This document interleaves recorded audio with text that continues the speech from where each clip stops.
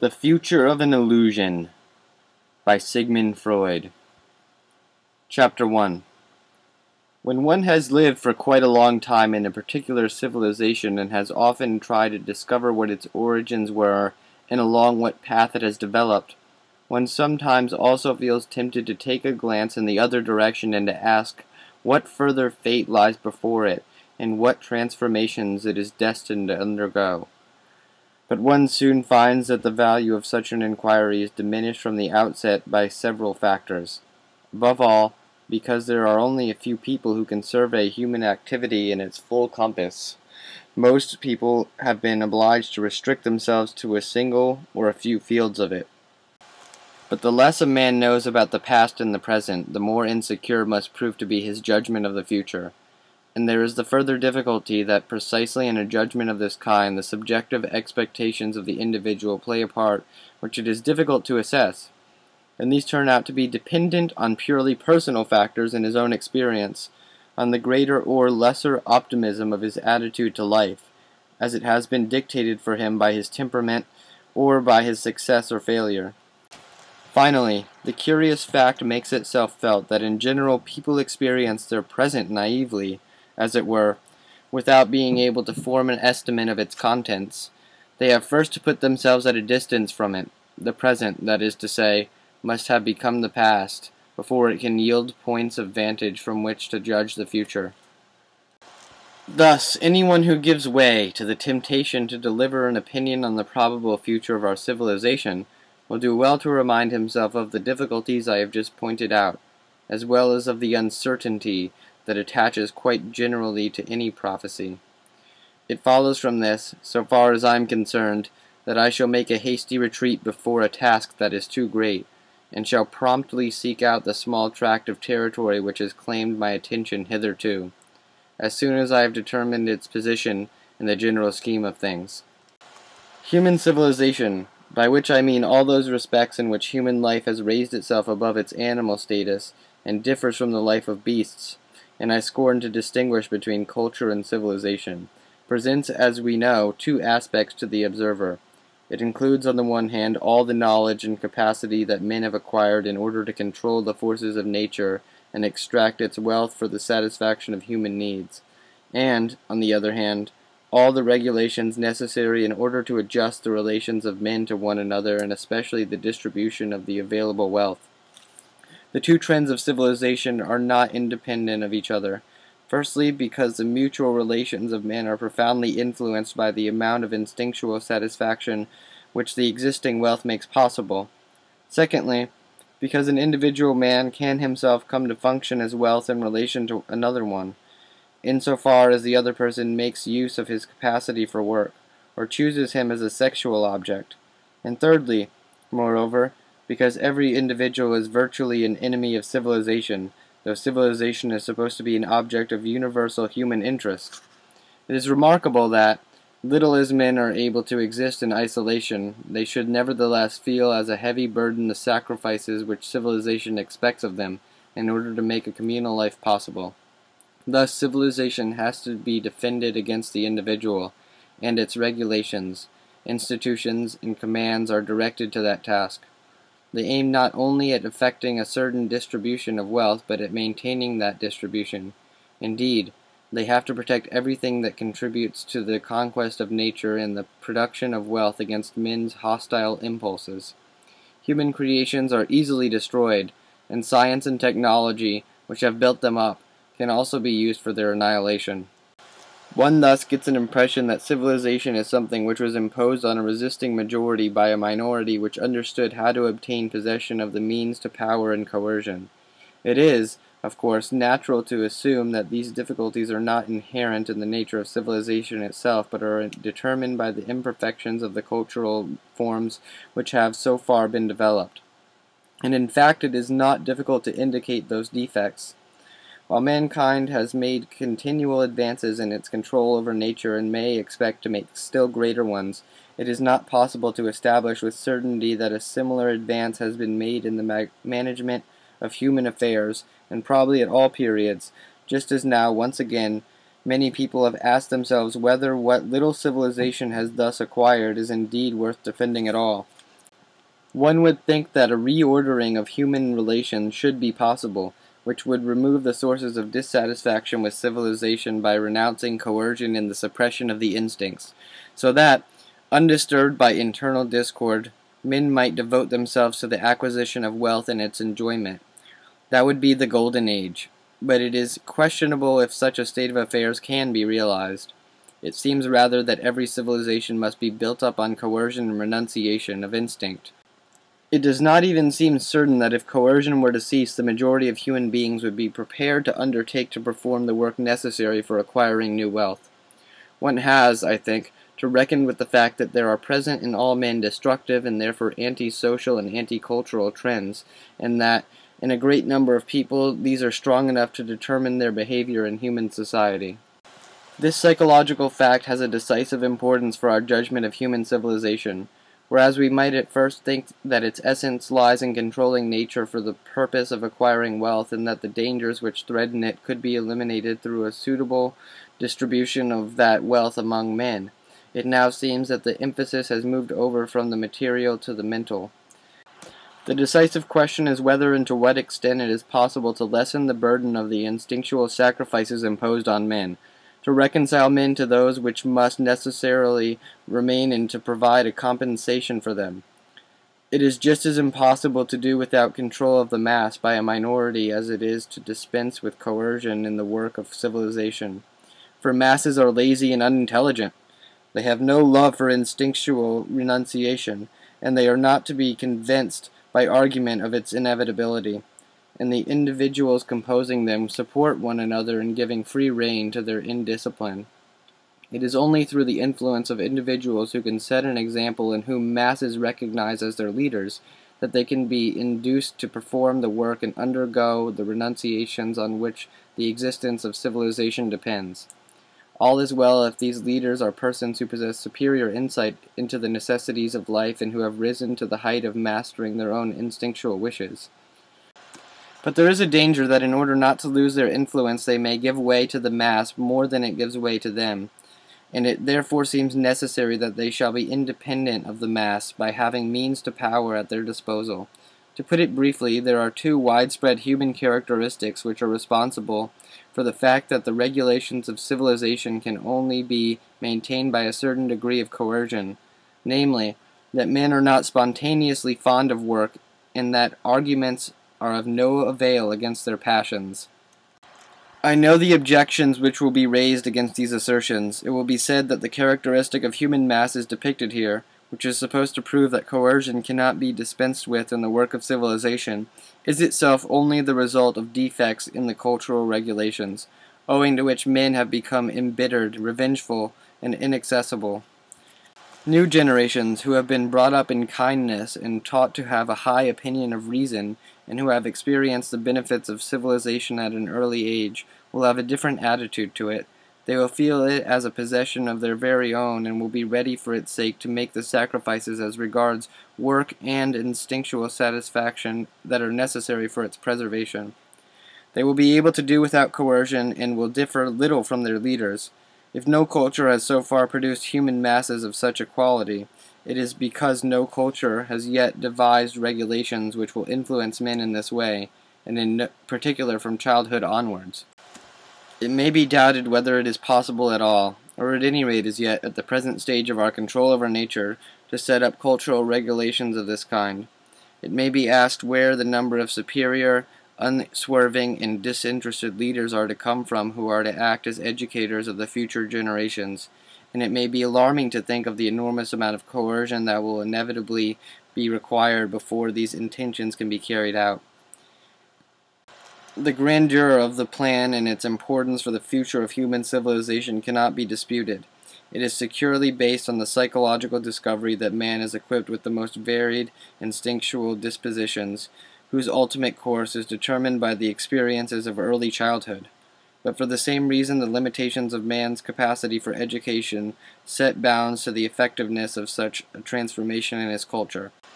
One may question whether and in what degree it would be possible for a different cultural environment to do away with the two characteristics of human masses which make the guidance of human affairs so difficult.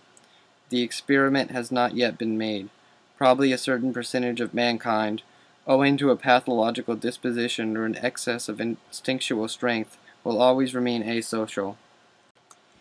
But if it were feasible merely to reduce the majority that is hostile towards civilization today into a minority, a great deal would have been accomplished, perhaps all that can be accomplished. I should not like to give the impression that I have strayed a long way from the line laid down for my inquiry. Let me therefore give an express assurance that I have not the least intention of making judgments on the great experiment in civilization that is now in progress, and the vast country that stretches between Europe and Asia. I have neither the special knowledge nor the capacity to decide on its practicability, to test the expediency of the methods employed, or to measure the width of the inevitable gap between intention and execution. What is in preparation there is unfinished, and therefore eludes an investigation for which our own long consolidated civilization affords us material. Chapter 2 we have slipped unawares out of the economic field into the field of psychology. At first we were tempted to look for the assets of civilization in the available wealth and in the regulations for its distribution. But with the recognition that every civilization rests on a compulsion to work and a renunciation of instinct and therefore inevitably provokes opposition from those affected by these demands, it has become clear that civilization cannot consist principally or solely in wealth itself, and the means of acquiring it, and the arrangements for its distribution. For these things are threatened by the rebelliousness and destructive mania of the participants in civilization. Alongside of wealth, we now come upon the means by which civilization can be defended, measures of coercion and other measures that are intended to reconcile men to it and to recompense them for their sacrifices. These latter may be described as the mental assets of civilization. For the sake of a uniform terminology, we will describe the fact that an instinct cannot be satisfied as a frustration, the regulation by which this frustration is established as a prohibition, and the condition which is produced by the prohibition as a privation. The first step is to distinguish between privations which affect everyone and privations which do not affect everyone but only groups, classes, or even single individuals. The former are the earliest, but the prohibitions that established them, civilization, who knows how many thousands of years ago, began to detach man from his primordial animal condition. We have found to our surprise that these privations are still operative and still form the kernel of hostility to civilization. The instinctual wishes that suffer under them are born afresh with every child. There is a class of people, the neurotics, who already react to these frustrations with asocial behavior. Among these instinctual wishes are those of incest, cannibalism, and lust for killing. It sounds strange to place alongside one another wishes which everyone seems united in repudiating, and others about which there is so much lively dispute in our civilization as to whether they shall be permitted or frustrated. But psychologically it is justifiable to do so. Nor is the attitude of civilization to these oldest instinctual wishes by any means uniform. Cannibalism alone seems to be universally prescribed and, to the non psychoanalytic view, to have been completely surmounted. The strength of the incestuous wishes can still be detected behind the prohibition against them, and under certain conditions killing is still practiced, and indeed commanded by our civilization. It is possible that cultural developments lie ahead of us in which the satisfaction of yet other wishes, which are entirely permissible today, will appear just as unacceptable as cannibalism does now. These earliest instinctual renunciations already involve a psychological factor which remains important for all further instinctual renunciations as well. It is not true that the human mind has undergone no development since the earliest times, and that, in contrast to the advances of science and technology, it is the same today as it was at the beginning of history. We can point out one of these mental advances at once. It is in keeping with the course of human development that external coercion gradually becomes internalized, for a special mental agency, man's superego, takes it over and includes it among its commandments. Every child presents this process of transformation to us, only by that means does it become a moral and social being. Such a strengthening of the superego is a most precious cultural asset in the psychological field. Those in whom it has taken place are turned from being opponents of civilization into being its vehicles. The greater their number is in a cultural unit, the more secure is its culture and the more it can dispense with external measures of coercion. Now, the degree of this internalization differs greatly between the various instinctual prohibitions. As regards the earliest cultural demands, which I have mentioned, the internalization seems to have been very extensively achieved, if we leave out of account the unwelcome exception of the neurotics. But the case is altered when we turn to the other instinctual claims. Here we observe with surprise and concern that a majority of people obey the cultural prohibitions on these points only under the pressure of external coercion, that is, only where that coercion can make itself effective and so long as it is to be feared. This is also true of what are known as the moral demands of civilization, which likewise apply to everyone. Most of one's experiences of man's mortal untrustworthiness fall into this category. There are countless civilized people who would shrink from murder or incest, but who do not deny themselves the satisfaction of their avarice, their aggressive urges, or their sexual lusts, and who do not hesitate to injure other people by lies, fraud, and calumny, so long as they can remain unpunished for it. And this, no doubt, has always been so through many ages of civilization. If we turn to those restrictions that apply only to certain classes of society, we meet with a state of things which is flagrant and which has always been recognized. It is to be expected that these underprivileged classes will envy the favored ones their privileges and will do all they can to free themselves from their own surplus of privation. Where this is not possible, a permanent measure of discontent will persist within the culture concerned, and this can lead to dangerous revolts. If, however, a culture has not got beyond a point at which the satisfaction of one portion of its participants depends upon the suppression of another, and perhaps larger portion, and this is the case in all present day cultures, it is understandable that the suppressed people should develop an intense hostility towards a culture whose existence they make possible by their work, but in whose wealth they have too small a share. In such conditions, an internalization of the cultural prohibitions among the suppressed people is not to be expected. On the contrary, they are not prepared to acknowledge the prohibitions. They are intent on destroying the culture itself and possibly even on doing away with the postulates on which it is based.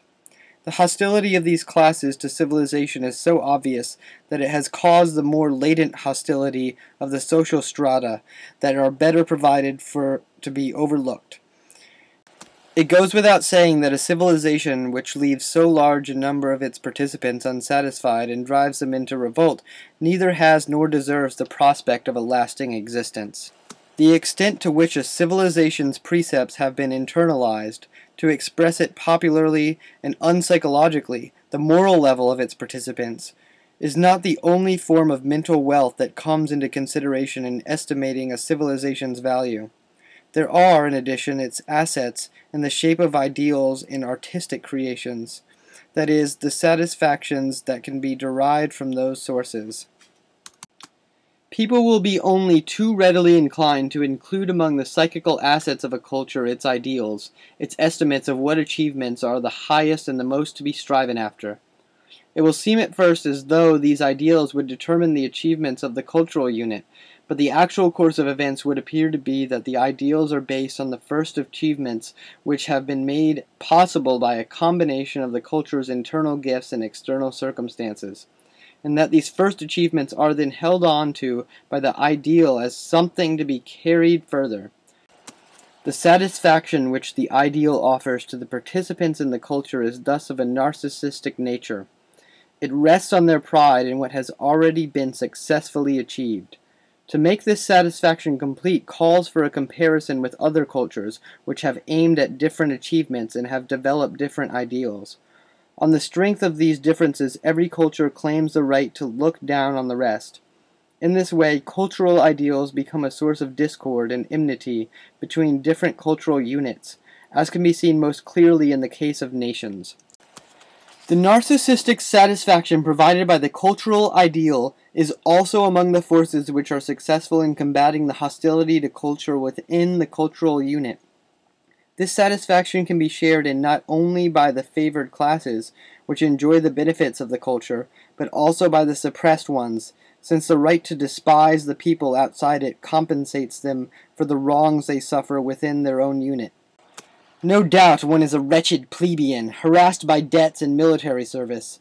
But, to make up for it, one is a Roman citizen, one has one's share in the task of ruling other nations, and dictating their laws. This identification of the suppressed classes with the class who rules and exploits them is, however, only part of a larger whole. For, on the other hand, the suppressed classes can be emotionally attached to their masters. In spite of their hostility to them, they may see in them their ideals. Unless such relations of a fundamentally satisfying kind subsisted, it would be impossible to understand how a number of civilizations have survived so long in spite of the justifiable hostility of large human masses. A different kind of satisfaction is afforded by art to the participants in a cultural unit, though as a rule it remains inaccessible to the masses, who are engaged in exhausting work and have not enjoyed any personal education. As we discovered long since, art offers substitutive satisfactions for the oldest and still most deeply felt cultural renunciations, and for that reason it serves as nothing else does to reconcile a man to the sacrifices he has made on behalf of civilization. On the other hand, the creations of art heighten his feelings of identification, of which every cultural unit stands in so much need by providing an occasion for sharing highly valued emotional experiences. And when those creations picture the achievements of his particular culture and bring to his mind its ideals in an impressive manner, they also minister to his narcissistic satisfaction. No mention has yet been made of what is perhaps the most important item to the psychical inventory of a civilization. This consists in its religious ideas in the widest sense, in other words, which will be justified later, in its illusions. Chapter 3 in what does the peculiar value of religious ideas lie? We have spoken of the hostility to civilization which is produced by the pressure that civilization exercises, the renunciations of instinct which it demands. If one imagines its prohibitions lifted, if, then, one may take any woman one pleases as a sexual object, if one may without hesitation kill one's rival for her love or anyone else who stands in one's way, if, too, one can carry off any of the other man's belongings without asking leave, how splendid, what a string of satisfactions one's life would be. True, one soon comes across the first difficulty. Everyone else has exactly the same wishes as I have, and will treat me with no more consideration than I treat him. And so in reality only one person could be made unrestrictedly happy by such a removal of restrictions of civilization, and he would be a tyrant, a dictator, who had seized all the means of power. And even he would have every reason to wish that others would observe at least one cultural commandment Thou shalt not kill. But how ungrateful, how short sighted, after all, to strive for the abolition of civilization! What would then remain would be a state of nature, and that would be far harder to bear. It is true that nature would not demand any restrictions of instinct from us, she would let us do as we liked but she has her own particularly effective method of restricting us. She destroys us, coldly, cruelly, relentlessly, as it seems to us, and possibly through the very things that occasioned our satisfaction. It was precisely because of these dangers with which nature threatens us that we came together and created civilization, which is also, among other things, intended to make our communal life possible. For the principal task of civilization, its actual raison d'etre, is to defend us against nature. We all know that in many ways civilization does this fairly well already, and clearly as time goes on it will do it much better. But no one is under the illusion that nature has already been vanquished. A few dare hope that she will ever be entirely subjected to man. There are the elements which seem to mock at all human control, the earth, which quakes and is torn apart and buries all human life in its works. Water, which deluges and drowns everything in a turmoil. Storms, which blow everything before them. There are diseases which we have only recently recognized as attacks by other organisms. And finally, there is the painful riddle of death, against which no medicine has yet been found, nor probably will be. With these forces, nature rises up against us, majestic, cruel, and inexorable. She brings to our mind once more our weakness and helplessness, which we thought to escape through the work of civilization. One of the few gratifying and exalting impressions which mankind can offer is when, in the face of an elemental catastrophe, it forgets the discordancies of its civilization and all its internal difficulties and animosities, and recalls the great common task of preserving itself against the superior power of nature. For the individual, too, life is hard to bear just as it is for mankind in general. The civilization in which he participates imposes some amount of privation on him, and other men bring him a measure of suffering, either in spite of the precepts of his civilization or because of its imperfections. To this are added the injuries which untamed nature, he calls it fate, inflicts on him, one might suppose that this condition of things would result in a permanent state of anxious expectation in him and a severe injury to his natural narcissism. We know already how the individual reacts to the injuries which civilization and other men inflict on him. He develops a corresponding degree of resistance to the regulations of civilization and of hostility to it. But how does he defend himself against the superior powers of nature, of fate, which threaten him as they threaten all the rest. Civilization relieves him of this task. It performs it in the same way for all alike, and it is noteworthy that in this almost all civilizations act alike. Civilization does not call a halt in the task of defending man against nature. It merely pursues it by other means. The task is a manifold one. Man's self-regard, seriously menaced, calls for consolation. Life in the universe must be robbed of their terrors. Moreover, his curiosity, moved, it is true, by the strongest practical interest, demands an answer. A great deal is already gained with the first step the humanization of nature. Interpersonal forces and destinies cannot be approached, they remain eternally remote. But if the elements have passions that rage as they do in our own souls, if death itself is not something spontaneous but the violent act of an evil will, if everywhere in nature there are beings around us of a kind that we know in our own society, then we can breathe freely, can feel at home in the uncanny, and can deal by psychical means with our senseless anxiety. We are still defenseless, perhaps, but we are no longer helplessly paralyzed. We can at least react. Perhaps, indeed, we are not even defenseless. We can apply the same methods against these violent supermen outside that we employ in our own society.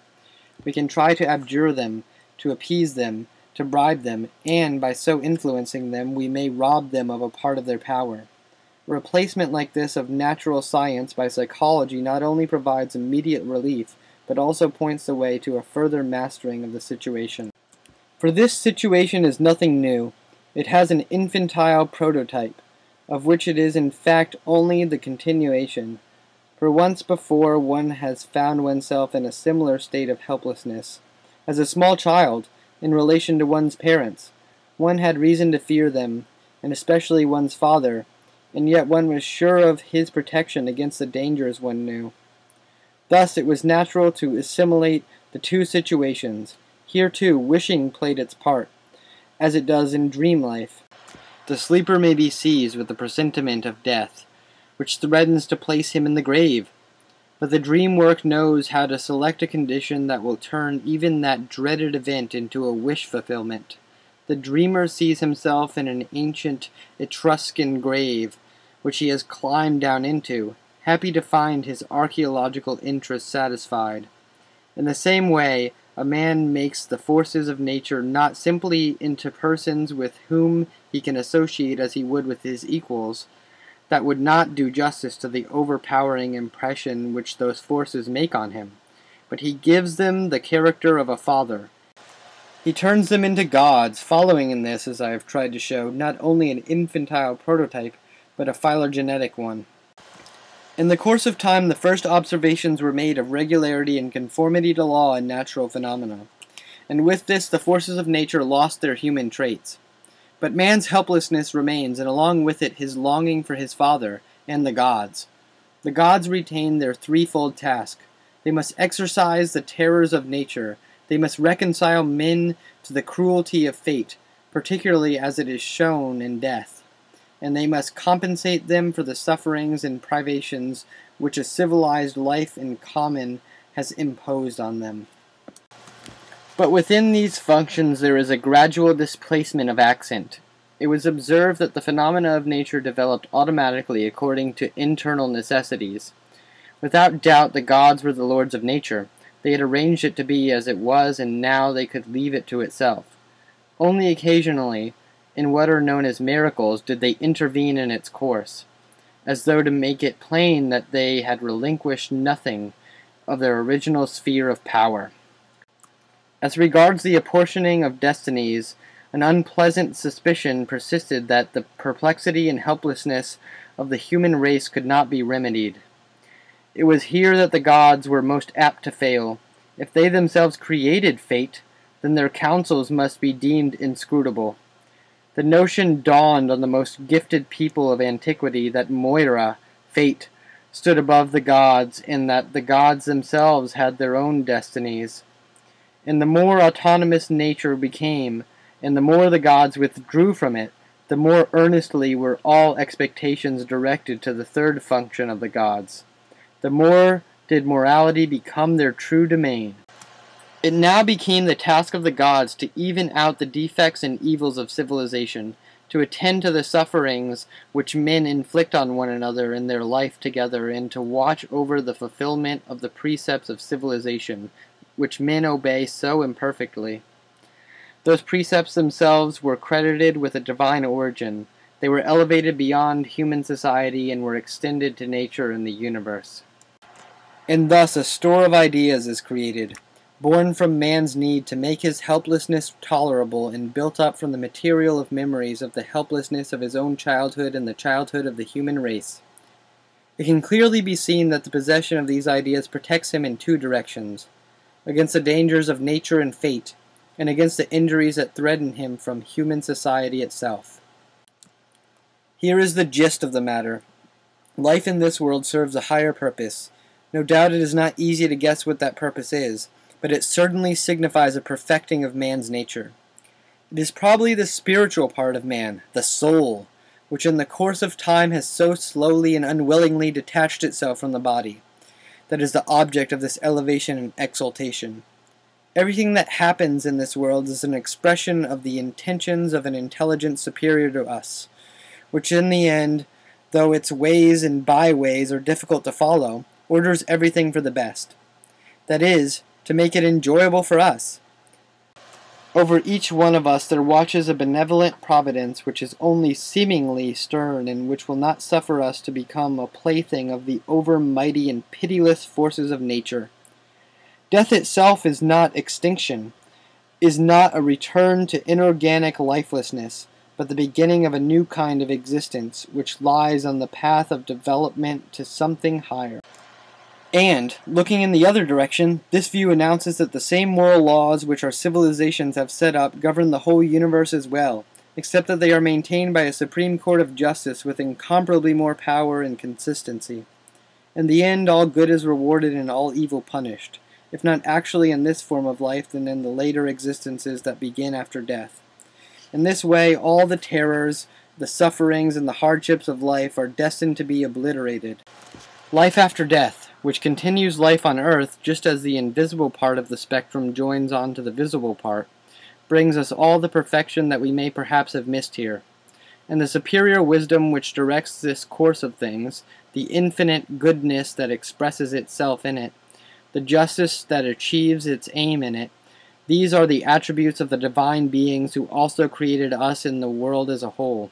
Or rather, of the one divine being into which, in our civilization, all the gods of antiquity have been condensed. The people which first succeeded in thus concentrating the divine attributes was not a little proud of the advance. It had laid open to view the Father who had all along been hidden behind every divine figure as its nucleus. Fundamentally, this was a return to the historical beginnings of the idea of God.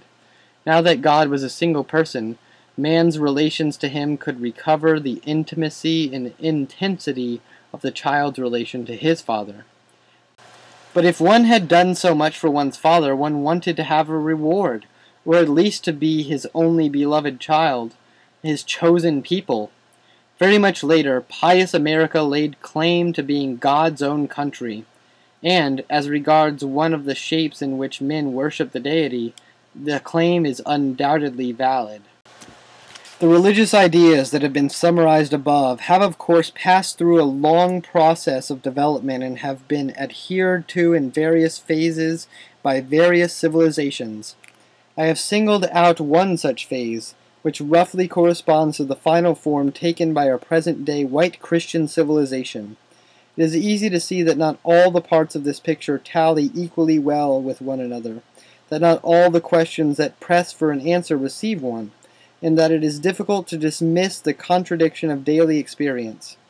Nevertheless, such as they are, those ideas, ideas which are religious in the widest sense, are prized as the most precious possession of civilization, as the most precious thing it has to offer its participants. It is far more highly prized than all the devices for winning treasures from the earth, or providing men with sustenance, or preventing their illnesses, and so forth. People feel that life would not be tolerable if they did not attach to these ideas the value that is claimed for them. And now the question arises what are these ideas in the light of psychology? Whence do they derive the esteem in which they are held? And, to take a further timid step, what is their real worth? Chapter 4 An inquiry which proceeds like a monologue, without interruption, is not altogether free from danger. One is too easily tempted into pushing aside thoughts which threaten to break into it, and in exchange one is left with a feeling of uncertainty which in the end one tries to keep down by over decisiveness. I shall therefore imagine that I have an opponent who follows my arguments with mistrust, and here and there I shall allow him to interject some remarks. I hear him say, You have repeatedly used the expressions Civilization creates these religious ideas. Civilization places them at the disposal of its participants. There is something about this that sounds strange to me. I cannot myself say why, but it does not sound so natural as it does to say that civilization has made rules about disturbing the products of labor or about rights concerning women and children.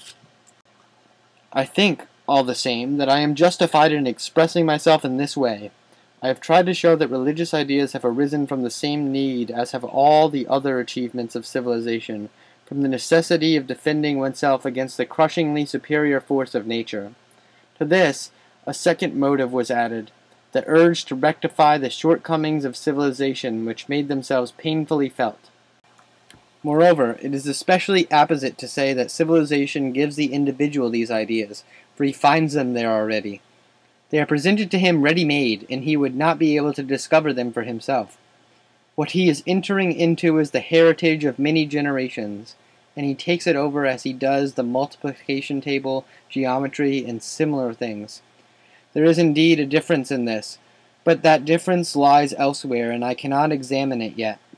The feeling of strangeness that you mention may be partly due to the fact that this body of religious ideas is usually put forward as a divine revelation. But this presentation of it is itself a part of the religious system, and it entirely ignores the known historical development of these ideas and their differences in different epochs and civilizations. Here is another point, which seems to me to be more important. You argue that the humanization of nature is derived from the need to put an end to man's perplexity and helplessness in the face of its dreaded forces, to get into a relation with them, and finally to influence them. But a motive of this kind seems superfluous. Primitive man has no choice. He has no other way of thinking. It is natural to him, something innate, as it were, to project his existence outwards into the world and to regard every event which he observes as the manifestation of beings who at bottom are like himself. It is his only method of comprehension, and it is by no means self evident. On the contrary, it is a remarkable coincidence if, by thus indulging his natural disposition, he succeeds in satisfying one of his greatest needs. I do not find that so striking. Do you suppose that human thought has no practical motives, that it is simply the expression of a disinterested curiosity? That is surely very improbable.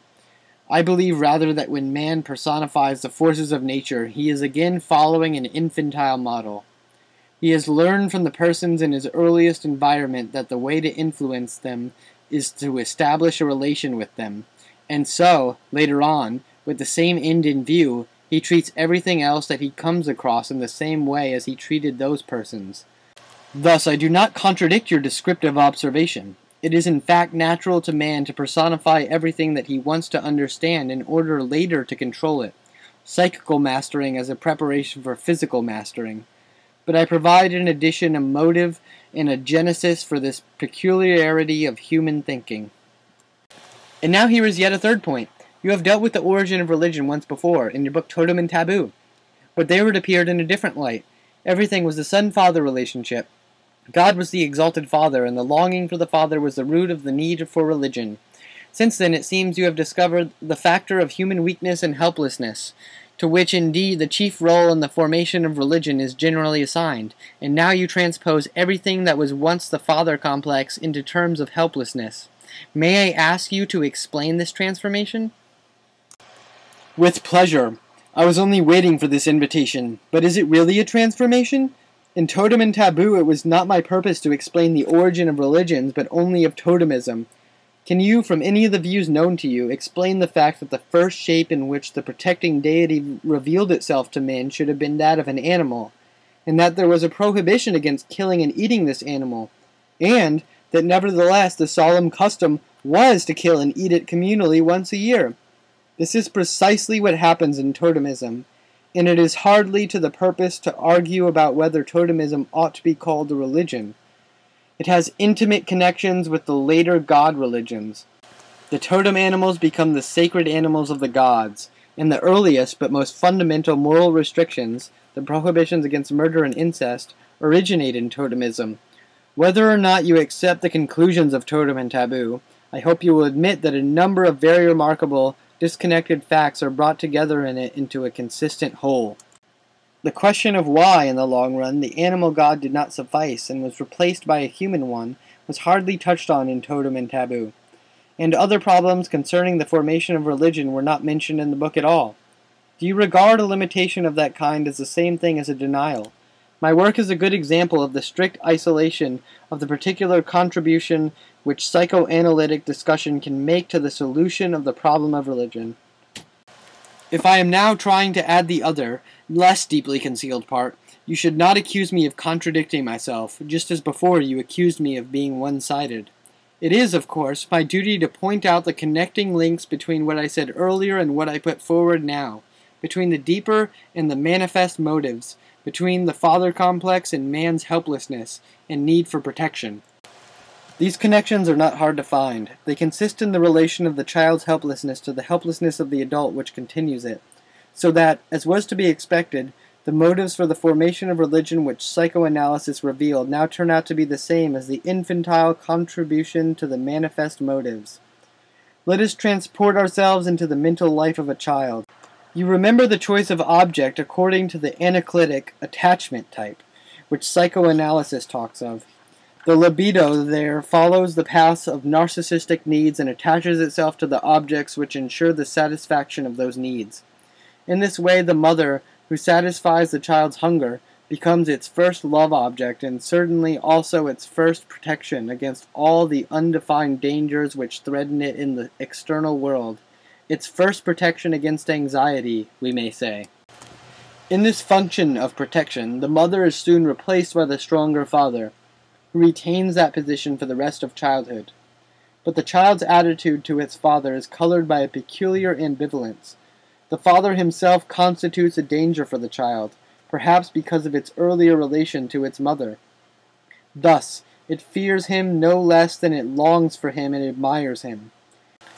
The indications of this ambivalence in the attitude to the Father are deeply imprinted in every religion, as was shown in Totem and Taboo. When the growing individual finds that he is destined to remain a child forever, that he can never do without protection against strange superior powers, he lends those powers the features belonging to the figure of his Father. He creates for himself the gods whom he dreads, whom he seeks to propitiate, and whom he nevertheless entrusts with his own protection. Thus his longing for a father is a motive identical with his need for protection against the consequences of his human weakness. The defense against childish helplessness is what lends its characteristic features to the adult's reaction to the helplessness which he has to acknowledge, a reaction which is precisely the formation of religion. But it is not my intention to inquire any further into the development of the idea of God. What we are concerned with here is the finished body of religious ideas as it is transmitted by civilization to the individual. Chapter 5 Let us now take up the thread of our inquiry. What then is the psychological significance of religious ideas, and under what heading are we to classify them? The question is not at all easy to answer immediately. After rejecting a number of formulations, we will take our stand on the following one. Religious ideas are teachings and assertions about facts and conditions of external or internal reality, which tell one something one has not discovered for oneself, and which lay claim to one's belief. Since they give us information about what is most important and interesting to us in life, they are particularly highly prized. Anyone who knows nothing of them is very ignorant and anyone who has added them to his knowledge may consider himself much the richer. There are, of course, many such teachings about the most various things in the world. Every school lesson is full of them. Let us take geography. We are told that the town of Constance lies on the Bodensee. A student song adds, If you don't believe it, go and see. I happen to have been there and can confirm the fact that the lovely town lies on the shore of a wide stretch of water which all those who live round it call the Bodensee, and I am now completely convinced of the correctness of this geographical assertion.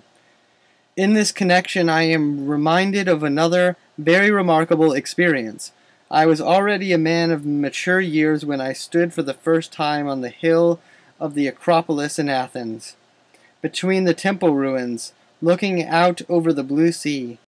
A feeling of astonishment mingled with my joy. It seemed to say, So it really is true. Just as we learnt at school. How shallow and weak must have been the belief I then acquired in the real truth of what I heard. If I could be so astonished now. But I will not lay too much stress on the significance of this experience, for my astonishment could have had another explanation which did not occur to me at the time, and which is of a wholly subjective nature and has to do with the special character of the place. All teachings, like these, then, demand belief in their contents, but not without producing grounds for their claim. They are put forward as the epitomized result of a longer process of thought based on observation and certainty, also on inferences. If anyone wants to go through this process himself instead of accepting its result, they show him how to set it about. Moreover, we are always in addition given the source of the knowledge conveyed by them, where that source is not self evident, as it is in the case of geographical assertions. For instance, the earth is shaped like a sphere. The proofs adduced for this are Foucault's pendulum experiment the behavior of the horizon, and the possibility of circumnavigating the earth. Since it is impracticable, as everyone concerned realizes, to send every school child on a voyage round the world, we are satisfied with letting what is taught at school be taken on trust. But we know that the path to acquiring a personal conviction remains open. Let us try to apply the same test to the teachings of religion. When we ask on what their claim to be believed is founded, we are met with three answers which harmonize remarkably badly with one another. Firstly, these teachings deserve to be believed because they were already believed by our primal ancestors. Secondly, we possess proofs which have been handed down to us from those same primeval times. And thirdly, it is forbidden to raise the question of their authentication at all. In former days, anything so presumptuous was visited with the severest penalties, and even today society looks askance at any attempt to raise the question again. This third point is bound to rouse our strongest suspicions. After all, a prohibition like this can only be for one reason that society is very well aware of the insecurity of the claim it makes on behalf of its religious doctrines. Otherwise, it would certainly be very ready to put the necessary data at the disposal of anyone who wanted to arrive at conviction. This being so, it is with a feeling of mistrust which it is hard to allay that we pass on to an examination of the other two grounds of proof. We ought to believe because our forefathers believed, but these ancestors of ours were far more ignorant than we are. They believed in things we could not possibly accept today, and the possibility occurs to us that the doctrines of religion may belong to that class too. The proofs they have left us are set down in writings which themselves bear every mark of untrustworthiness. They are full of contradictions, revisions, and falsifications, and where they speak of factual confirmations, they are themselves unconfirmed. It does not help much to have it asserted that their wording, or even their content only, originates from divine revelation. For this assertion is itself one of the doctrines whose authenticity is under examination, and no proposition can be a proof of itself. Thus we arrive at the singular conclusion that of all the information provided by our cultural assets, it is precisely the elements which might be of the greatest importance to us, and which have the task of solving the riddles of the universe and of reconciling us to the sufferings of life. It is precisely those elements that are the least well authenticated of any. We should not be able to bring ourselves to accept anything of so little concern to us as the fact that whales bear young instead of laying eggs, if it were not capable of better proof than this. This state of affairs is in itself a very remarkable psychological problem. And let no one suppose that what I have said about the impossibility of proving the truth of religious doctrines contains anything new. It has been felt at all times, undoubtedly too, by the ancestors who bequeathed us this legacy. Many of them probably nursed the same doubts as ours. But the pressure imposed on them was too strong for them to have dared to utter them. And since then, countless people have been tormented by similar doubts, and have striven to suppress them, because they thought it was their duty to believe. Many brilliant intellects have broken down over this conflict, and many characters have been impaired by the compromises with which they have tried to find a way out of it. If all the evidence put forward for the authenticity of religious teachings originates in the past, it is natural to look round and see whether the present, about which it is easier to form judgments, may not also be able to furnish evidence of the sort. If by this means we could succeed in clearing even a single portion of the religious system from doubt, the whole of it would gain enormously in credibility. The proceedings of the spiritualists meet us at this point. They are convinced of the survival of the individual soul and they seek to demonstrate to us beyond the truth of this one religious doctrine. Unfortunately, they cannot succeed in refuting the fact that the appearance and utterances of their spirits are merely the products of their own mental activity. They have called up the spirits of the greatest men and of the most eminent thinkers, but all the pronouncements and information which they have received from them have been so foolish and so wretchedly meaningless that one can find nothing credible in them but the capacity of the spirits to adapt themselves to the circle of people who have conjured them up. I must now mention two attempts that have been made, both of which convey the impression of being desperate efforts to evade the problem. One, of a violent nature, is ancient, the other is subtle and modern. The first is the Credo Quia Absurdum of the early Father of the Church. It maintains that religious doctrines are outside the jurisdiction of reason, are above reason. Their truth must be felt inwardly, and they need not be comprehended. But this credo is only of interest as a self confession. As an authoritative statement, it has no binding force. Am I to be obliged to believe every absurdity? And if not, why this one in particular? There is no appeal to a court above that of reason. If the truth of religious doctrines is dependent on an inner experience which bears witness to that truth, what is one to do about the many people who do not have this rare experience? One may require every man to use the gift of reason which he possesses, but one cannot erect, on the basis of a motive that exists only for very few, an obligation that shall apply to every one. If one man has gained an unshakable conviction of the true reality of religious doctrines from a state of ecstasy which has deeply moved him, of what significance is that to others? The second attempt is the one made by the philosophy of as if. This asserts that our thought activity includes a great number of hypotheses whose groundlessness and even absurdity we fully realize. They are called fictions, but for a variety of practical reasons we have to behave as if we believed in these fictions. This is the case with religious doctrines because of their incomparable importance for the maintenance of human society.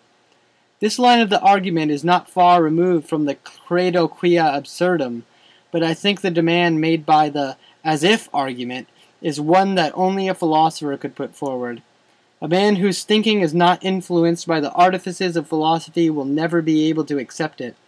In such a man's view, the admission that something is absurd or contrary to reason leaves no more to be said.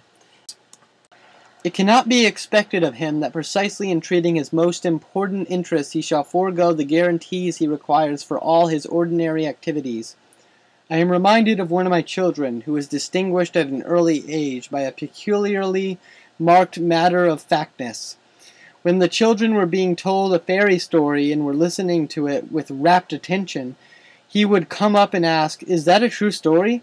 When he was told it was not, he would turn away with a look of disdain. We may expect that people will soon behave in the same way towards the fairy tales of religion, in spite of the advocacy of as if.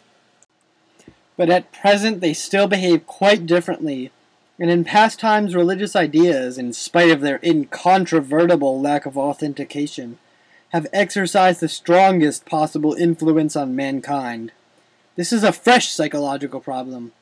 We must ask where the inner force of those doctrines lies, and to what it is that they owe their efficacy, independent as it is of recognition by reason.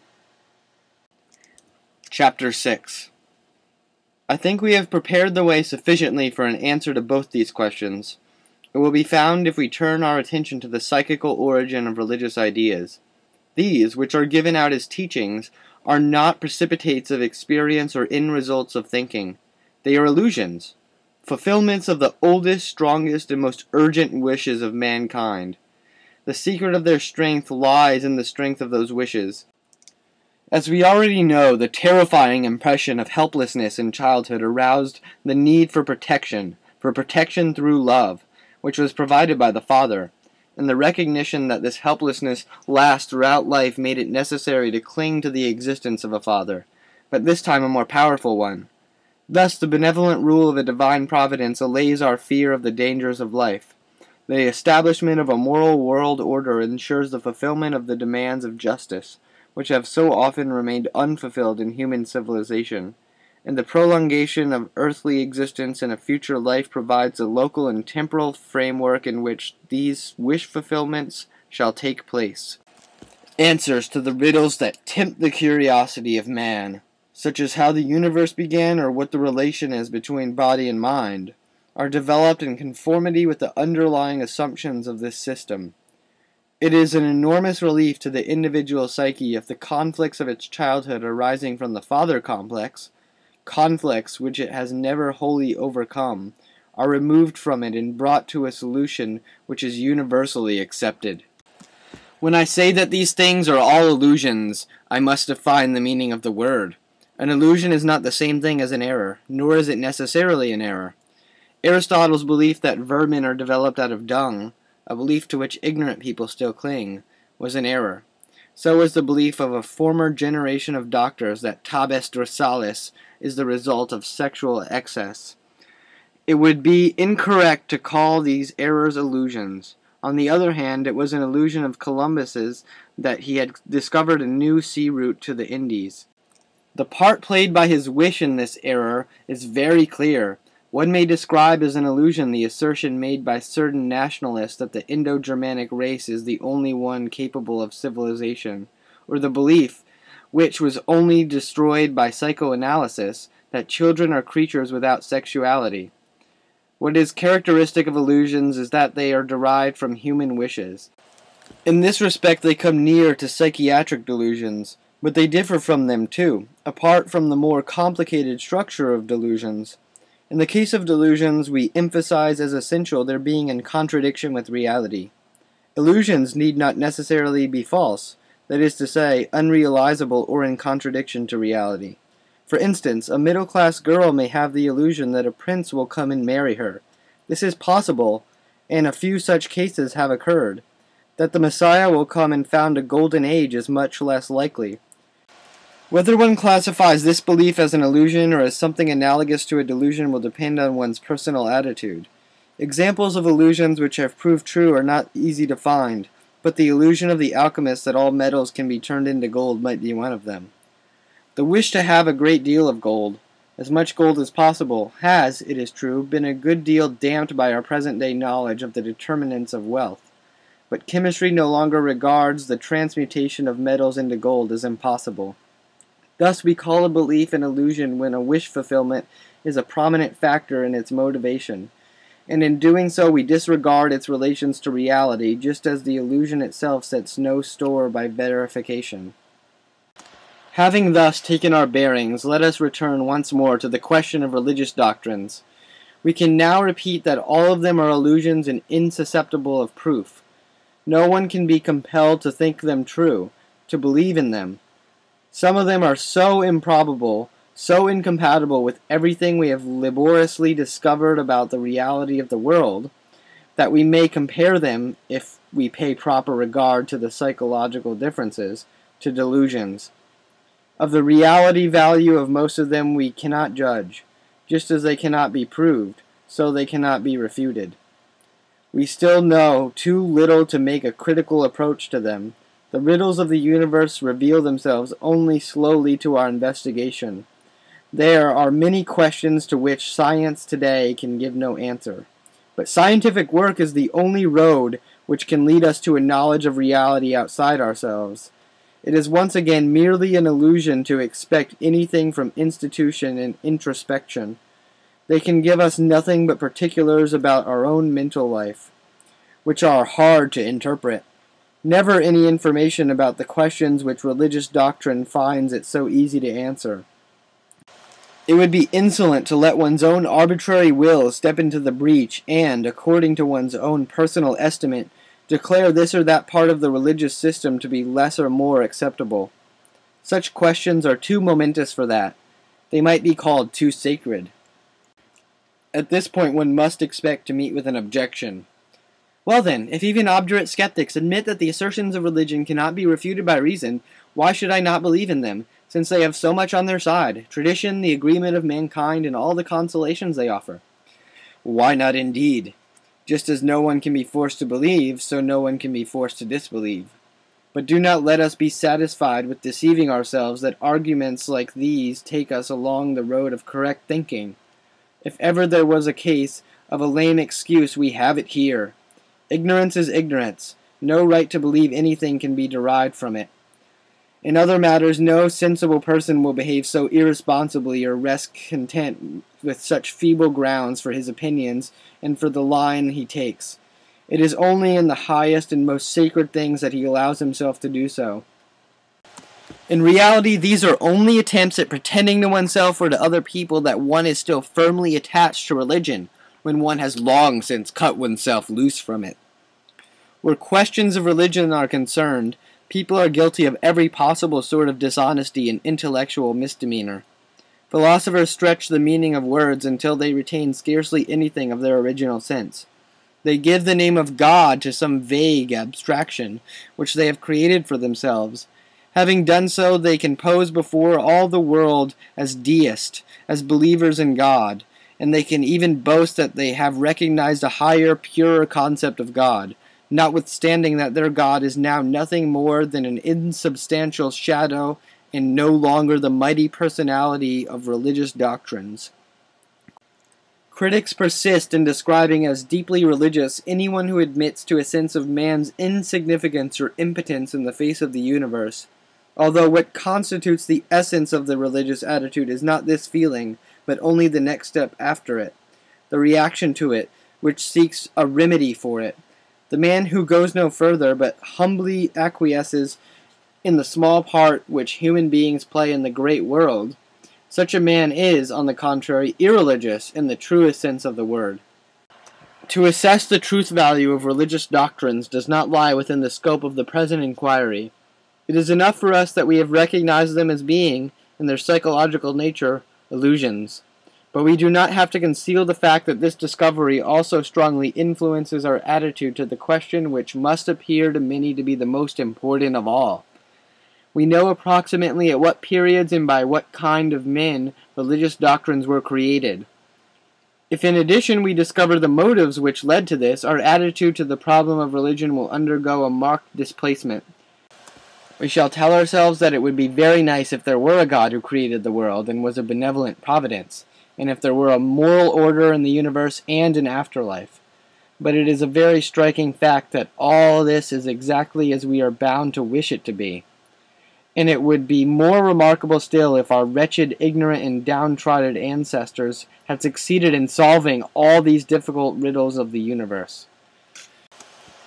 Chapter 7 Having recognized religious doctrines as illusions, we are at once faced by a further question. May not other cultural assets of which we hold a high opinion and by which we let our lives be ruled be of a similar nature? Must not the assumptions that determine our political regulations be called illusions as well? And is it not the case that in our civilization the relations between the sexes are disturbed by an erotic illusion or a number of such illusions? And once our suspicion has been aroused, we shall not shrink from asking, too, whether our conviction that we can learn something about external reality through the use of observation and reasoning and scientific work, whether this conviction has any better foundation nothing ought to keep us from directing our observation to our own selves, or from applying our thought to criticism of itself. In this field, a number of investigations open out before us, whose results could not be decisive for the construction of a Weltanschauung.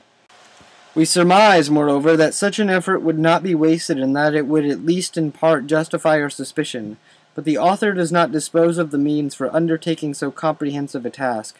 He needs must confine his work to following out one only of these illusions, that, namely, of religion. But now the loud voice of our opponent brings us to a halt. We are called to account for our wrongdoing. Archaeological interests are no doubt most praiseworthy, but no one undertakes an excavation if by doing so he is going to undermine the habitations of the living so that they collapse and bury people under their ruins. The doctrines of religion are not a subject one can quibble about like any other. Our civilization is built up on them, and the maintenance of human society is based on the majority of men's believing in the truth of those doctrines. If men are taught that there is no almighty and all just God, no divine world order, and no future life, they will feel exempt from all obligation to obey the precepts of religion. Everyone will, without inhibition or fear, follow his social egoistic instincts and seek to exercise his power. Chaos, which we have banished through many thousands of years of the work of civilization, will come again. Even if we knew and could prove that religion was not in possession of the truth, we ought to conceal the fact and behave in the way prescribed by the philosophy of as if. And this, in the interest of the preservation of us all, and apart from the danger of the undertaking, it would be a purposeless cruelty. Countless people find their one consolation in religious doctrines and can only bear life with their help.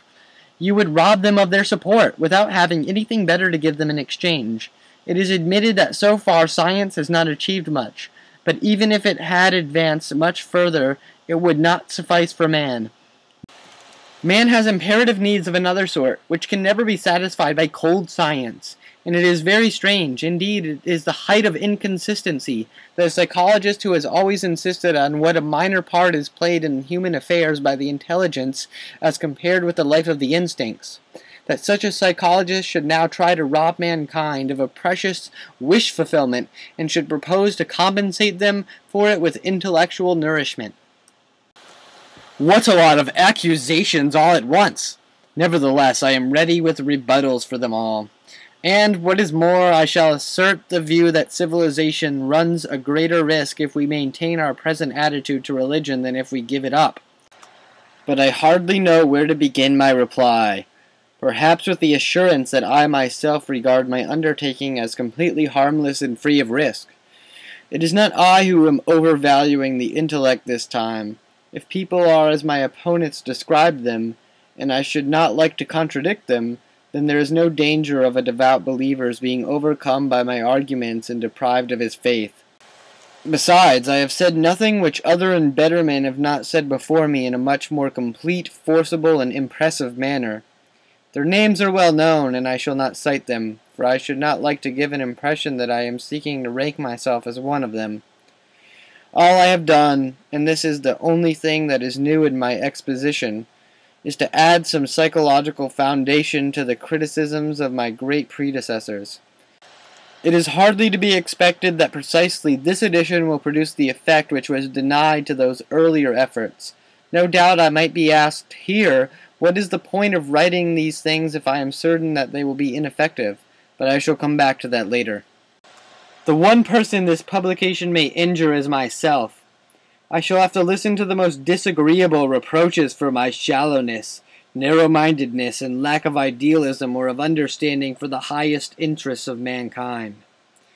But on the one hand, such remonstrances are not new to me, and on the other, if a man has already learnt in his youth to rise superior to the disapproval of his contemporaries, what can it matter to him in his old age when he is certain soon to be beyond the reach of all favor or disfavor? In former times it was different. Then utterances such as mine brought with them a sure curtailment of one's earthly existence, and an effective speeding up of the opportunity for gaining a personal experience of the afterlife. But, I repeat, those times are past, and today writings such as this bring no more danger to their author than to their readers. The most that can happen is that the translation and distribution of his book will be forbidden in one country or another, and precisely, of course, in a country that is convinced of the high standard of its culture. But if one puts in any plea at all for the renunciation of wishes and for the acquiescence in fate, one must be able to tolerate this kind of injury too. The further question occurred to me whether the publication of this work might not after all do harm. Not to a person, however, but to a cause, the cause of psychoanalysis, for it cannot be denied that psychoanalysis is my creation, and it has met with plenty of mistrust and ill will. If I now come forward with such displeasing pronouncements, people will be only too ready to make a displacement from my person to psychoanalysis. Now we see, they will say, where psychoanalysis leads to. The mask is fallen. It leads to a denial of God and of a moral ideal. As we always suspected, to keep us from this discovery, we have been deluded into thinking that psychoanalysis has no Weltanschauung and never can construct one. An outcry of this kind will really be disagreeable to me on account of my many fellow workers, some of whom do not by any means share my attitude to the problems of religion. But psychoanalysis has already weathered many storms and now it must brave this fresh one. In point of fact, psychoanalysis is a method of research an impartial instrument, like the infinitesimal calculus, as it were. If a physicist were to discover with the latter's help that after a certain time the earth would be destroyed, we would nevertheless hesitate to attribute destructive tendencies to the calculus itself and therefore to prescribe it. Nothing that I have said here against the truth value of religions needed the support of psychoanalysis. It had been said by others long before psychoanalysis came into existence. If the application of the psychoanalytic method makes it possible to find a new argument against the truths of religion, tant pis for religion. But defenders of religion will by the same right make use of psychoanalysis in order to give full value to the affective significance of religious doctrines. And now to proceed with our defense. Religion has clearly performed great services for human civilization. It has contributed much towards the taming of the asocial instincts. But not enough. It has ruled human society for many thousands of years and has had time to show what it can achieve. If it had succeeded in making the majority of mankind happy, and comforting them, and reconciling them to life and making them into vehicles of civilization, no one would dream of attempting to alter the existing conditions. But what do we see instead? We see that an appallingly large number of people are dissatisfied with civilization and unhappy in it, and feel it as a yoke which must be shaken off, and that these people either do everything in their power to change that civilization, or else go so far in their hostility to it that they will have nothing to do with civilization or with a restriction of instinct.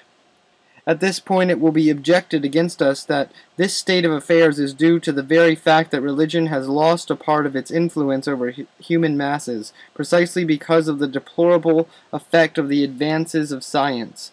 We will note this admission and the reason given for it, and we shall make use of it later for our own purposes, but the objection itself has no force. It is doubtful whether men were in general happier at a time when religious doctrines held unrestricted sway. More moral they certainly were not. They have always known how to externalize the precepts of religion and thus to nullify their intentions. The priests, whose duty it was to ensure obedience to religion, met them halfway in this.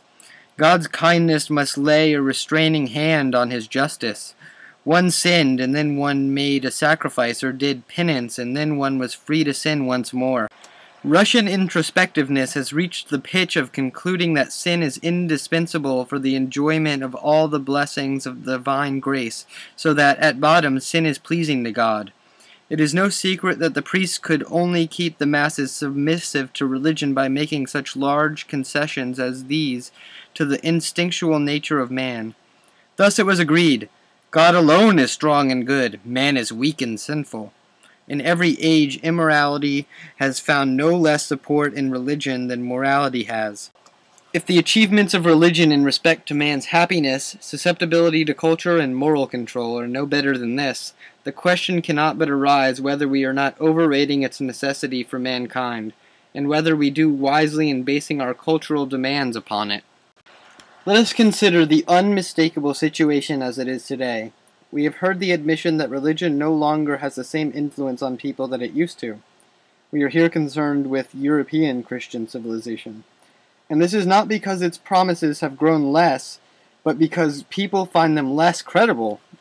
Let us admit that the reason, though perhaps not the only reason, for this change is the increase of the scientific spirit in the higher strata of human society. Criticism has whittled away the evidential value of religious documents. Natural science has shown up the errors in them, and comparative research has been struck by the fatal resemblance between the religious ideas which we revere and the mental products of primitive peoples and times. The scientific spirit brings about a particular attitude towards worldly matters. Before religious matters, it pauses for a little, hesitates, and finally there too crosses the threshold. In this process there is no stopping. The greater the number of men to whom the treasures of knowledge become accessible, the more widespread is the falling away from religious belief. At first, only from its obsolete and objectionable trappings, but later from its fundamental postulates as well. The Americans who instituted the monkey trial at Dayton have alone shown themselves consistent.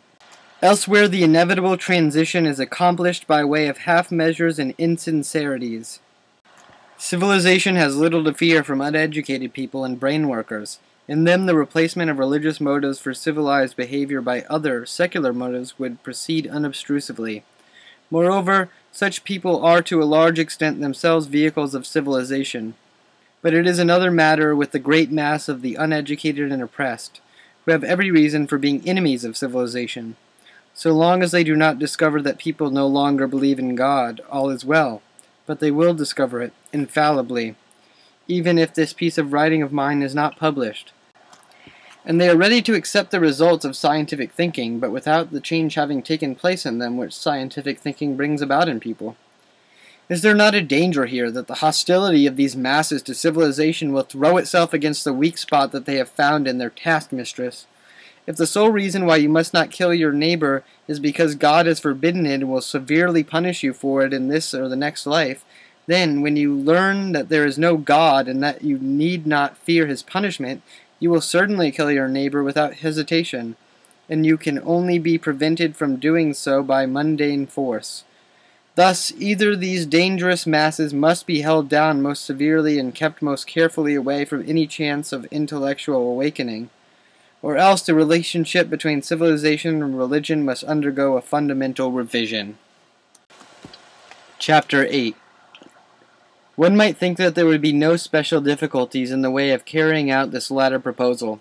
It is true that it would involve a certain amount of renunciation, but more would perhaps be gained than lost, and a great danger would be avoided. Everyone is frightened of it, however, as though it would expose civilization to a still greater danger. When St. Boniface cut down the tree that was venerated as sacred by the Saxons, the bystanders expected some fearful event to follow upon the sacrilege. But nothing happened, and the Saxons accepted baptism.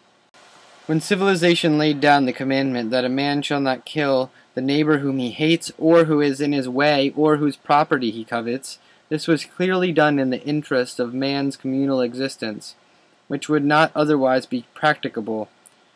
For the murderer would draw down on himself the vengeance of the murdered man's kinsmen and the secret envy of others, who within themselves feel as much inclined as he does for such acts of violence. Thus he would not enjoy his revenge or his robbery for long, but would have every prospect of soon being killed himself. Even if he protected himself against his single foes by extraordinary strength and caution, he would be bound to succumb to a combination of weaker men. If a combination of this sort did not take place, the murdering would continue endlessly, and the final outcome would be that men would exterminate one another. We should arrive at the same state of affairs between individuals as still persists in Corsica between families, though elsewhere only between nations. Insecurity of life, which is an equal danger for everyone, now unites men into a society which prohibits the individual from killing and reserves to itself the right to communal killing of anyone who violates the prohibition. Here, then, we have justice and punishment. But we do not publish this rational explanation of the prohibition against murder. We assert that the prohibition has been issued by God. Thus we take it upon ourselves to guess his intentions, and we find that he, too, is unwilling for men to exterminate one another. In behaving in this way, we are investing the cultural prohibition with a quite special solemnity, but at the same time we risk making its observance dependent on belief in God. If we retrace this step, if we no longer attribute to God what is our own will, and if we content ourselves with giving the social reason, then, it is true, we have renounced the transfiguration of the cultural prohibition, but we have also avoided the risk to it. But we gain something else as well, through some kind of diffusion or infection, the character of sanctity and inviolability, of belonging to another world, one might say, has spread from a few major prohibitions on to every other cultural regulation, law, and ordinance. But on these the halo often looks far from becoming.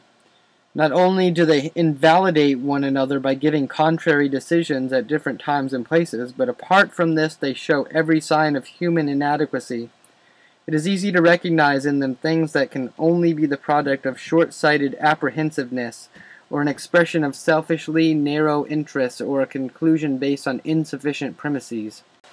The criticism which we cannot fail to level at them also diminishes to an unwelcome extent our respect for other, more justifiable cultural demands since it is an awkward task to separate what God himself has demanded from what can be traced to the authority of an all-powerful parliament or a high judiciary, it would be an undoubted advantage if we were to leave God out altogether and honestly admit the purely human origin of all the regulations and precepts of civilization.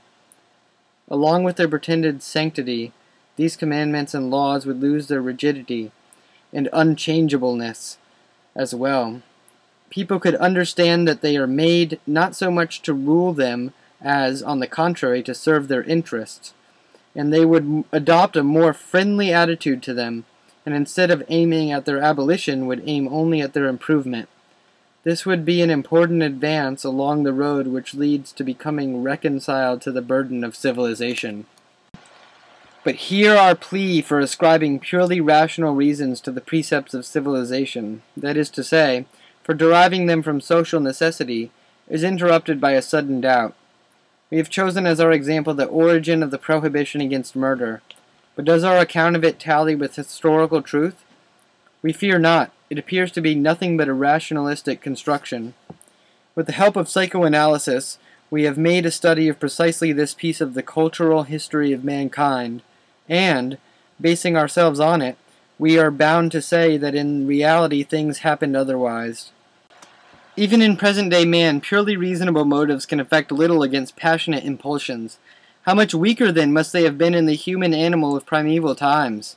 Perhaps his descendants would even now kill one another without inhibition.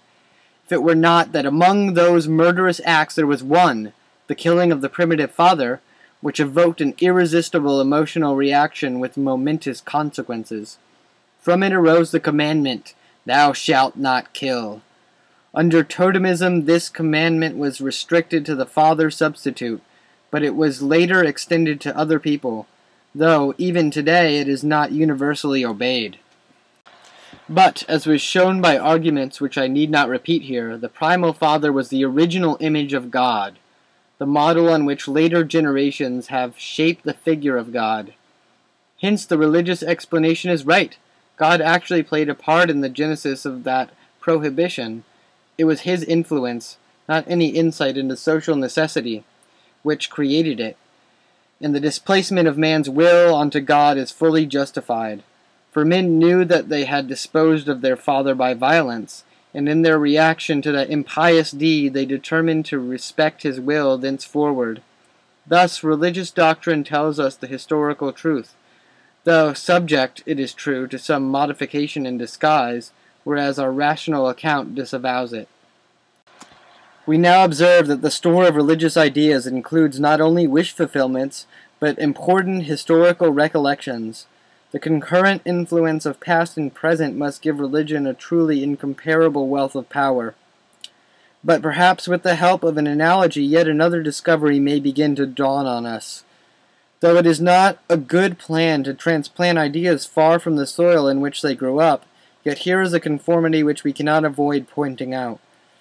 We know that a human child cannot successfully complete its development to the civilized stage without passing through a phase of neurosis, sometimes of greater and sometimes of less distinctness.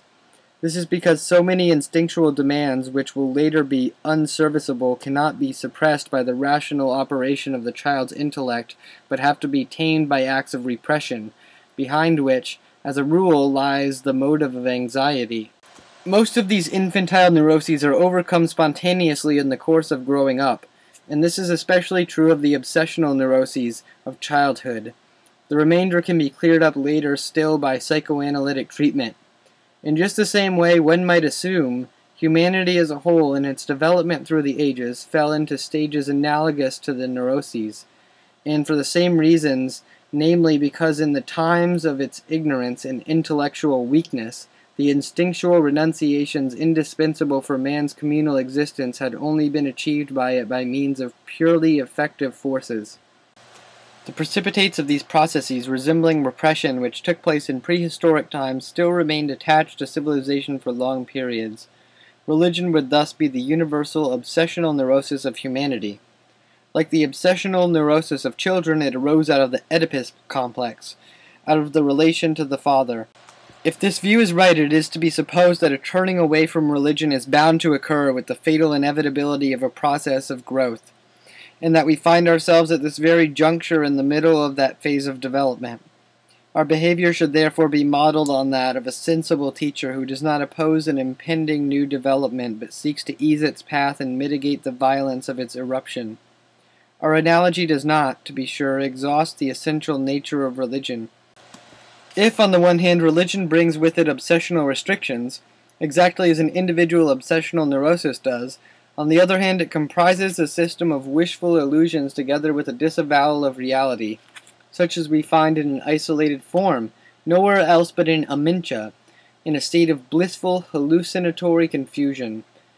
But these are only analogies, by the help of which we endeavor to understand a social phenomenon. The pathology of the individual does not supply us with a fully valid counterpart. It has been repeatedly pointed out, by myself and in particular Theodor Reik, in how great detail the analogy between religion and obsessional neurosis can be followed out, and how many of the peculiarities and vicissitudes in the formation of religion can be understood in that light. And it tallies well with this that devout believers are safeguarded in a high degree against the risk of a certain neurotic illness. Their acceptance of the universal neurosis spares them the task of constructing a personal one. Our knowledge of the historical worth of certain religious doctrines increases our respect for them, but does not invalidate our proposal that they should cease to be put forward as the reasons for the precepts of civilization.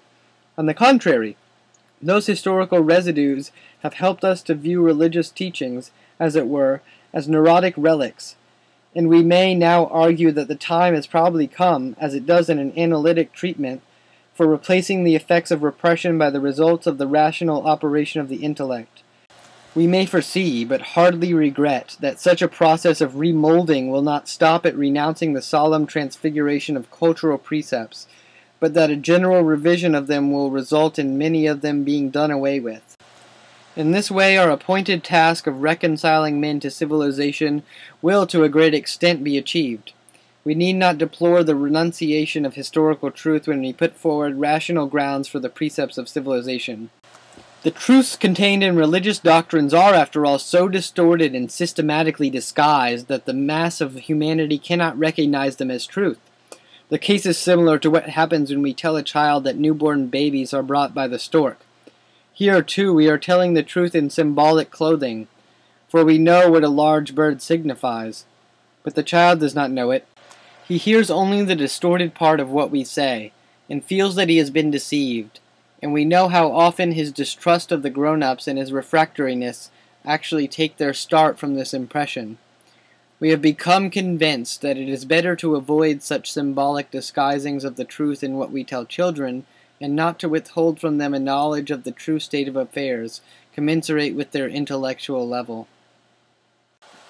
Chapter 9 you permit yourself contradictions which are hard to reconcile with one another. You begin by saying that a piece of writing like yours is quite harmless. No one will let himself be robbed of his faith by considerations of the sort put forward in it.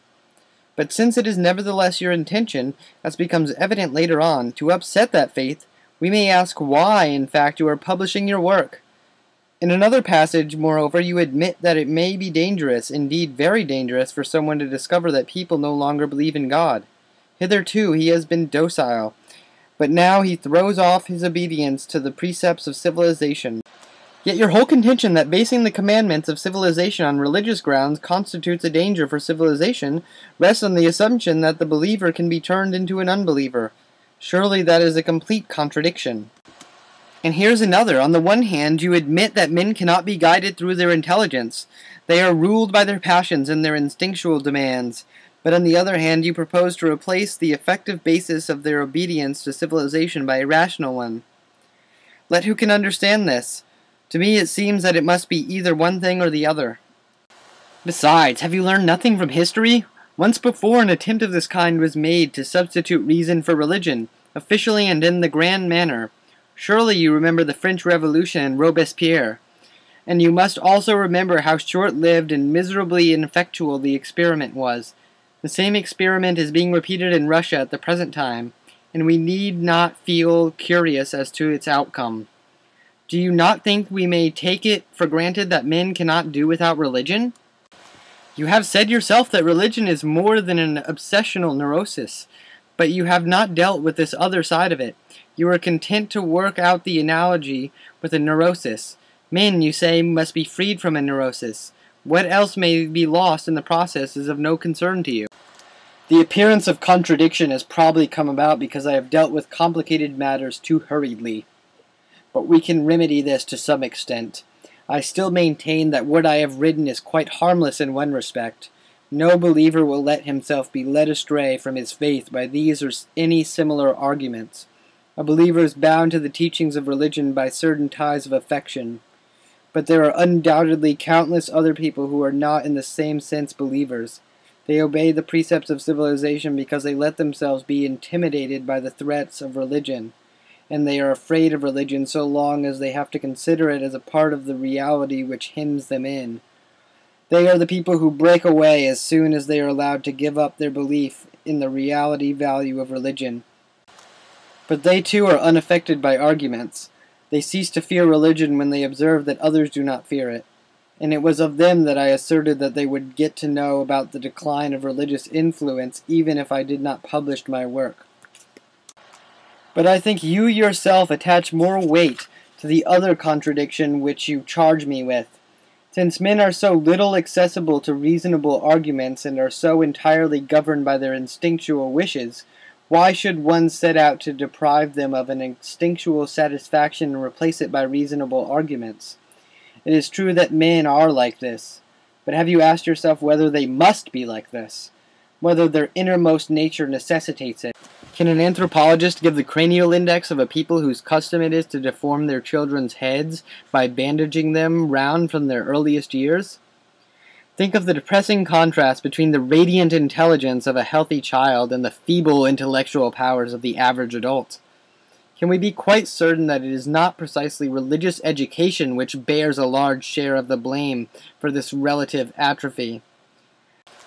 I think it would be a very long time before a child who was not influenced began to trouble himself about God and things in another world.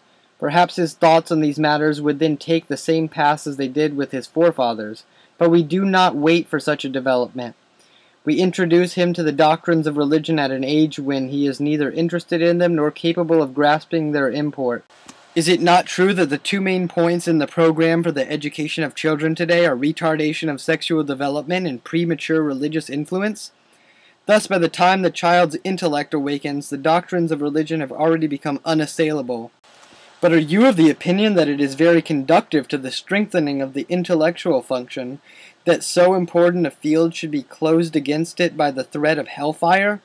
When a man has once brought himself to accept uncritically all the absurdities that religious doctrines put before him, and even to overlook the contradictions between them, we need not be greatly surprised at the weakness of his intellect.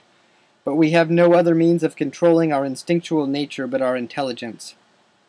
How can we expect people who are under the dominance of prohibitions of thought to attain the psychological ideal, the primacy of the intelligence, you know, too, that women in general are said to suffer from physiological feeble mindedness, that is, from a lesser intelligence than men. The fact itself is disputable, and its interpretation doubtful.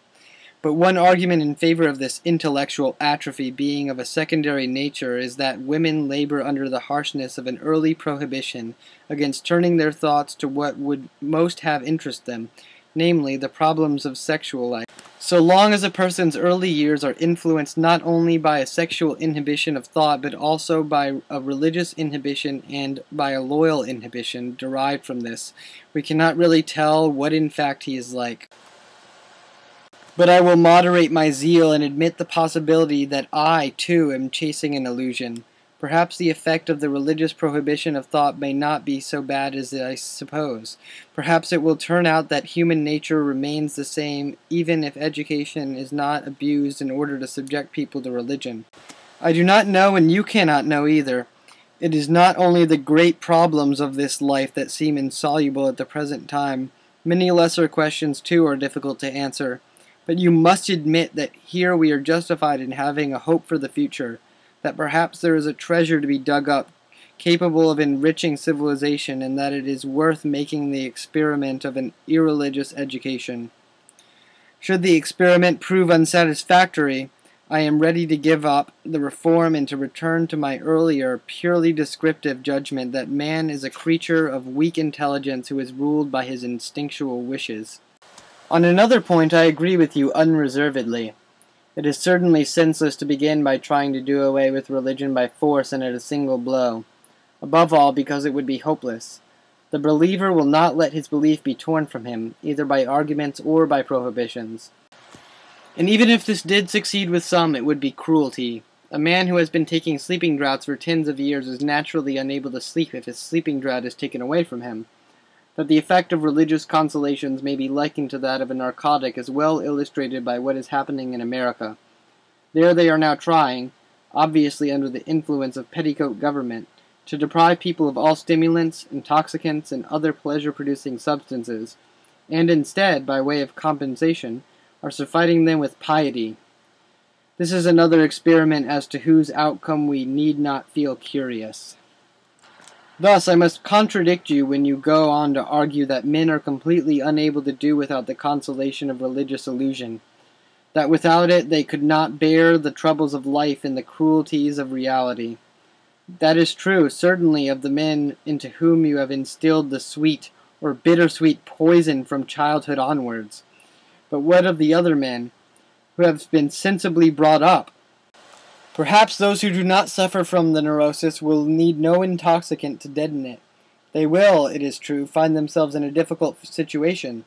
They will have to admit to themselves the full extent of their helplessness and their insignificance in the machinery of the universe. They can no longer be the center of creation, no longer the object of tender care on the part of a beneficent providence. They will be in the same position as a child who has left the parental house, where he is so warm and comfortable, but surely infantilism is destined to be surmounted. Men cannot remain children forever. They must in the end go out into hostile life. We may call this education to reality. Need I confess to you that the sole purpose of my book is to point out the necessity for this forward step?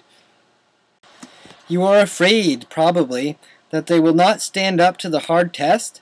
Well, let us at least hope they will.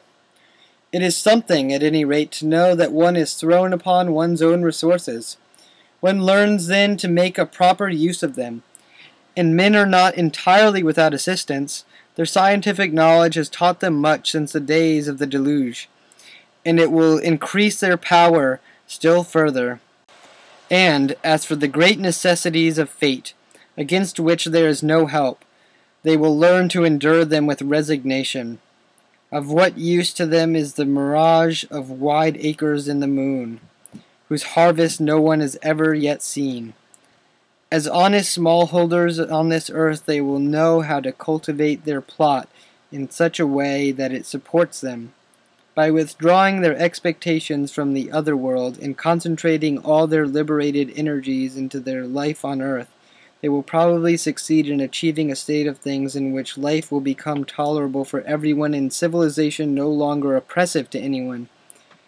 Then, with one of our fellow unbelievers, they will be able to say without regret, Den Himmel überlassen, wir den Engeln und den Spatzen. Or, in English, we leave heaven to the angels and the sparrows. From Heinrich Heine's poem, Germany, a Winter's Tale. Footnote. The German word Unglaubensgenossen, meaning fellow unbelievers, was applied by Heinrich Heine himself to Spinoza. Chapter 10 That sounds splendid, a race of men who have renounced all illusions and have thus become capable of making their existence on earth tolerable. I, however, cannot share your expectations, and that is not because I am the obstinate reactionary you perhaps take me for. No, it is because I am sensible. We seem now to have exchanged roles. You emerge as an enthusiast who allows himself to be carried away by illusions, and I stand for the claims of reason, the rights of skepticism. What you have been expounding seems to me to be built upon errors which, following your example, I may call illusions, because they betray clearly enough the influence of your wishes. You pin your hope on the possibility that generations which have not experienced the influence of religious doctrines in early childhood will easily attain the desired primacy of the intelligence over the life of the instincts. This is surely an illusion. In this decisive respect, human nature is hardly likely to change. If I am not mistaken, one knows so little about other civilizations. There are even today peoples which do not grow up under the pressure of a religious system, and yet they approach no nearer to your ideal than the rest. If you want to expel religion from our European civilization, you can only do it by means of another system of doctrines, and such a system would from the outset take over all the psychological characteristics of religion. The same sanctity, rigidity, and intolerance and same prohibition of thought, for its own defense. You have to have something of the kind in order to meet the requirements of education, and you cannot do without education. The path from the infant at the breast to the civilized man is a long one. Too many human young would go astray on it and fail to reach their life tasks at the proper time if they were left without guidance to their own development. The doctrines which had been applied in their upbringing would always set limits to the thinking of their riper years, which is exactly what you reproach religion with doing today. Do you not observe that it is an eradicatable and innate defect of our and every other civilization that it imposes on children, who are driven by instinct and weak in intellect, the making of decisions which only the mature intelligence of adults can vindicate? But civilization cannot do otherwise because of the fact that mankind's age-long development is compressed into a few years of childhood, and it is only by emotional forces that the child can be induced to master the tasks set before it. Such then are the prospects for your primacy of the intellect. And now you must not be surprised if I plead on behalf of retaining the religious doctrinal system as the basis of education and of man's communal life. This is a practical problem, not a question of reality value, since, for the sake of preserving our civilization, we cannot postpone influencing the individual until he has become ripe for civilization, and many would never become so in any case.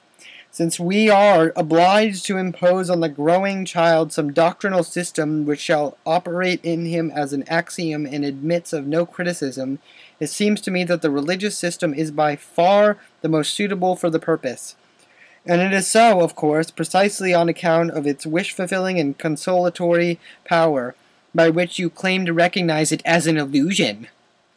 In view of the difficulty of discovering anything about reality, indeed, of the doubt whether it is possible for us to do so at all, we must not overlook the fact that human needs, too, are a piece of reality, and, in fact, an important piece, and one that concerns us especially closely. Another advantage of religious doctrine resides, to my mind, in one of its characteristics to which you seem to take particular exception, for it allows of a refinement and a sublimation of ideas, which make it possible for it to be divested of most of the traces which it bears of primitive and infantile thinking. What then remains is a body of ideas which science no longer contradicts and is unable to disprove. These modifications of religious doctrine, which you have condemned as half measures and compromises, make it possible to avoid the cleft between the uneducated masses and the philosophic thinker, and to preserve the common bond between them which is so important for the safeguarding of civilization. With this, there would be no need to fear that the men of the people would discover that the upper strata of society no longer believe in God.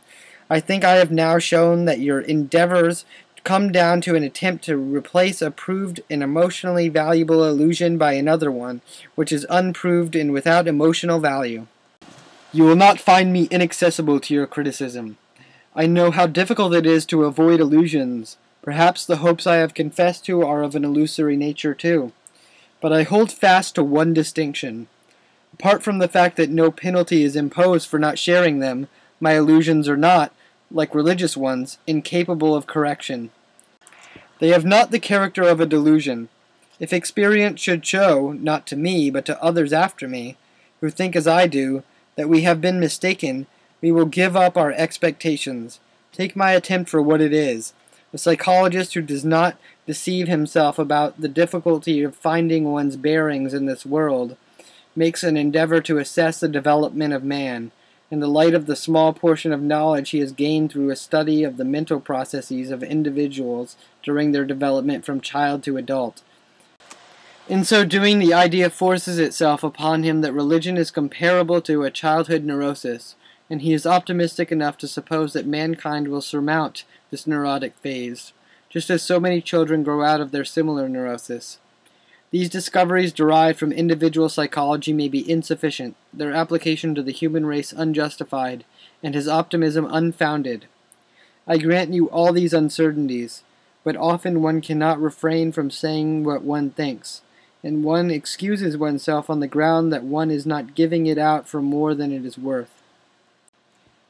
And there are two points that I must dwell on a little longer. Firstly, the weakness of my position does not imply any strengthening of yours.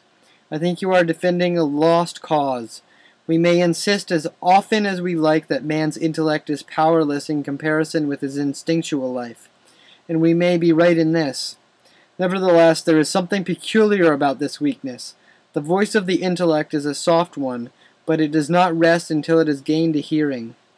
Finally, after a countless succession of rebuffs, it succeeds. This is one of the few points on which one may be optimistic about the future of mankind but it is in itself a point of no small importance. And from it one can derive yet other hopes. The primacy of the intellect lies, it is true, in a distant, distant future, but probably not in an infinitely distant one.